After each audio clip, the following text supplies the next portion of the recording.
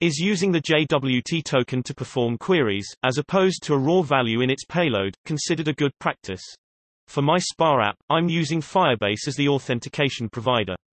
I'm also using this token to authenticate with my backend server. The Firebase documentation reads, Warning. Do not accept plain user IDs, such as those you can get, with the Google sign-in account getID method, on your backend server. Modified client application can send arbitrary user IDs to your server, to impersonate users, so you must instead use verifiable ID tokens to securely get the user IDs of signed-in users on the server side. So for my API calls that are user-related I don't transmit the raw user ID to my backend but instead I always send the whole JWT token, which I proceed to verify it and extract the user ID token from this. I then use this for my further backend logic.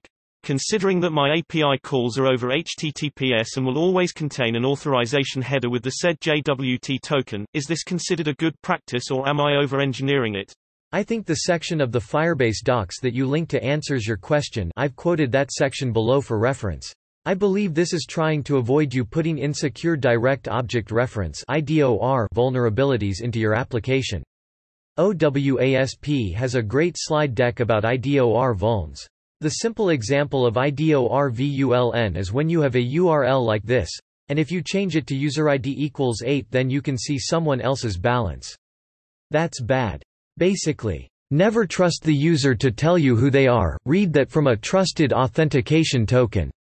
Your Firebase docs say pretty much exactly that. After you receive the ID token by HTTPS post, you must verify the integrity of the token. If you're getting the user ID from a Google-backed auth token, and you're following Google's advice for how to properly validate that token, then you're probably doing right already. It's probably also worth spending a few minutes convincing yourself that this can't be spoofed. For example, how does the JWT signature work and could an end-user spoof a signature? How are the JWTs transmitted to the client, and how are they stored at the client? How big is the risk that an attacker could get hold of another user's JWT? Etc. Just for reference, here is the section from the Firebase docs that you link to. Verify the integrity of the ID token. After you receive the ID token by HTTPS post, you must verify the integrity of the token. To verify that the token is valid, ensure that the following criteria are satisfied. The ID token is properly signed by Google. Use Google's public keys available in JWK or PEM format to verify the token's signature. These keys are regularly rotated. Examine the cache control header in the response to determine when you should retrieve them again. The value of AUD in the ID token is equal to one of your app's client IDs.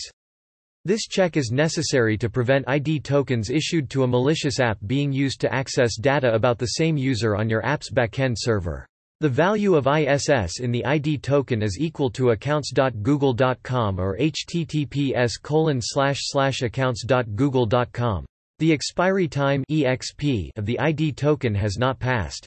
If you want to restrict access to only members of your G Suite domain, verify that the ID token has an HD claim that matches your G Suite domain name. Rather than writing your own code to perform these verification steps, we strongly recommend using a Google API client library for your platform, or a general-purpose JWT library. For development and debugging, you can call our token info validation endpoint.